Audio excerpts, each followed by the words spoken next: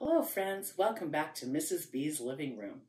Today we're going to read a story called Nelly Gnu and Daddy Too.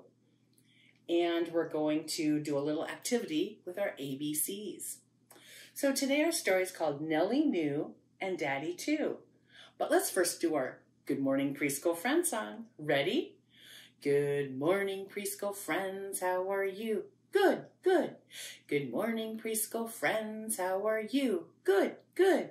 It's time to start our day. We are here to work and play. Good morning, preschool friends. How are you? Good, good. All right. So our story is Nelly Gnu and Daddy Too, written by Anna Dewdney. I think she also drew the pictures. Nelly loves her daddy Gnu. He always knows just what to do.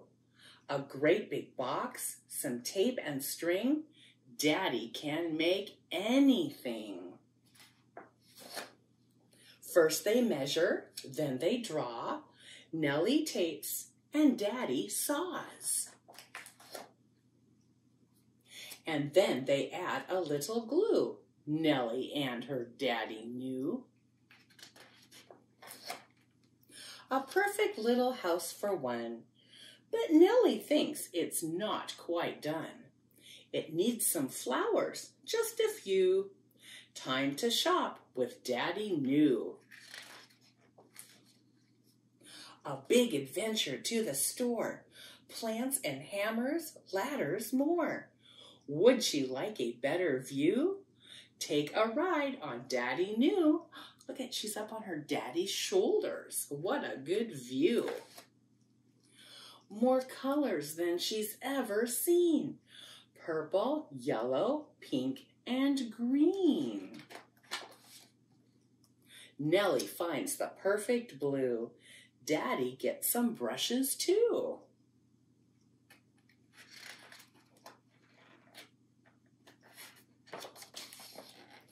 Out with Daddy, hip hooray!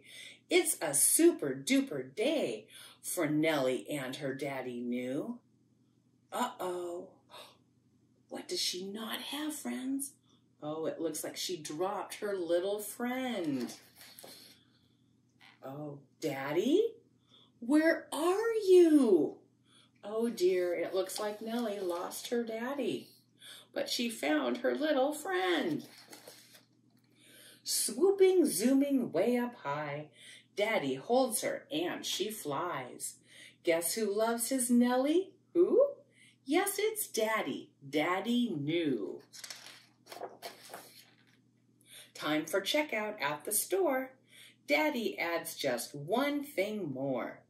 A special day for just these two. Nelly and her daddy Gnu.